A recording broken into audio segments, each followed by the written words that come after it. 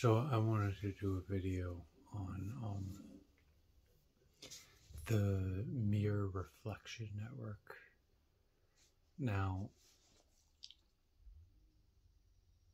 initially I kind of was, I scoffed at this because I didn't really understand. Well, I listened to the guy who who talked about it. I'll try to find and post a link. Um, he impressed me.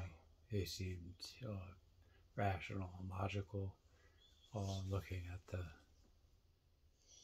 thermal issue from every possible angle, and uh, you know, coming up with really the only only answer that he could, I think, and that is uh, to reflect energy away from the earth. Uh, and, and the math is a little bit, I think, misleading in the sense that it's, uh, he deals with a scale, did not, you know, basically a, a mirror, the amount of energy it takes to produce a mirror, um, is paid for, paid for, so to speak, in its reflective capacity in a very short amount of time, like one or two days. And then every day after that, that is reflecting light, it's reflecting additional energy um, above and beyond what the energy required it took to make that um, mirror.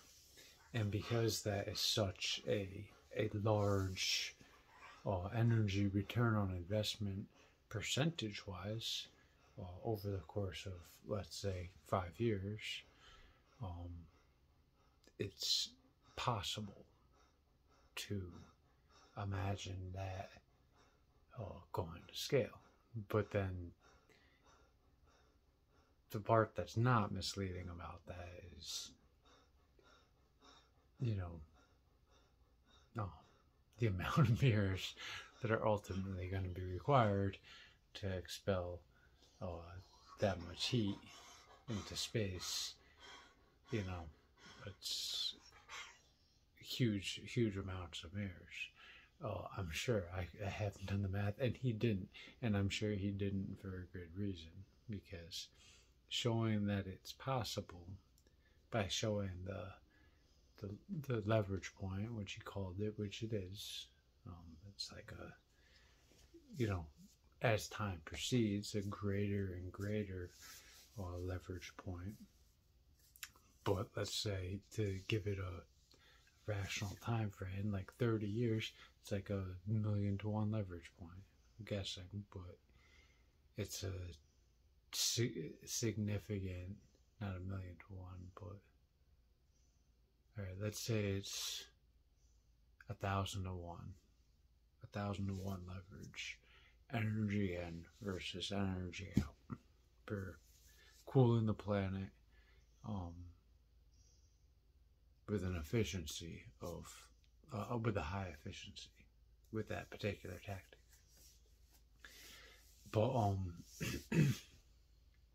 the idea can be expanded upon, I'm sure, with essentially whitewashing everything with an attempt to uh, increase the reflectivity of human habitat, cities, uh, urban and uh, suburban dwellings, uh, going to shiny roofs, going to um, white roofs, going to uh, painting the white the the roads white. Although I'm not sure how that would work. That would probably be um, slippery. Yeah, but you get my point.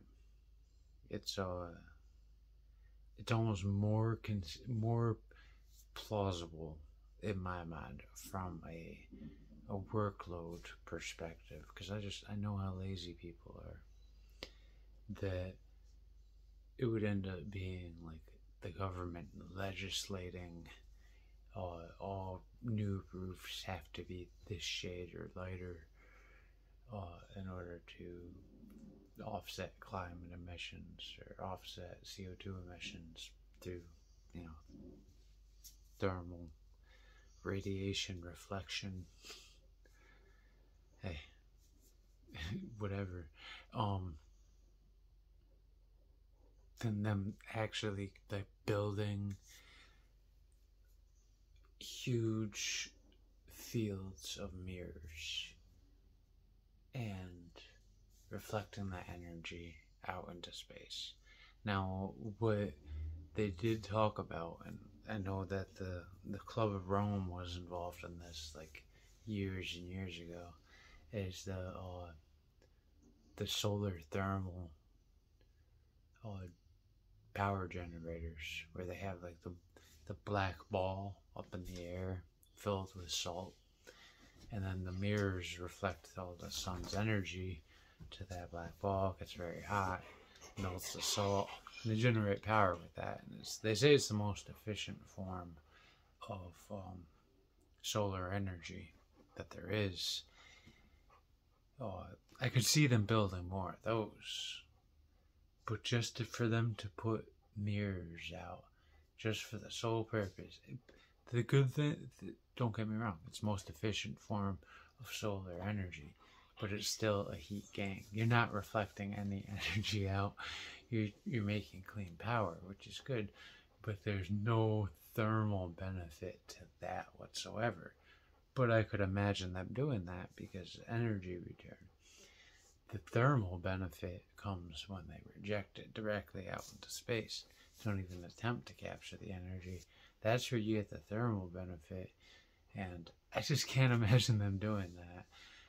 But it, it, it does make me like pause and think like, okay, there is a possible geoengineering solution to climate change. And they're talking about cloud whitening, this and that. And again, I believe that they would do that before they would put mirrors out just to reflect the energy purely out to space. Um, so I think that there should be like uh, mirrors that we could buy and put on our roofs because I would do that. I would if I I would do it until they told me to take it down, and I still might, but I'm a little nervous about like the fragility of some of these mirrors under snow load and I would want it to be a somewhat structured thing. I don't know. I would have to, I suppose I could just glue a mirror to plywood. Whatever. I'll come up with something.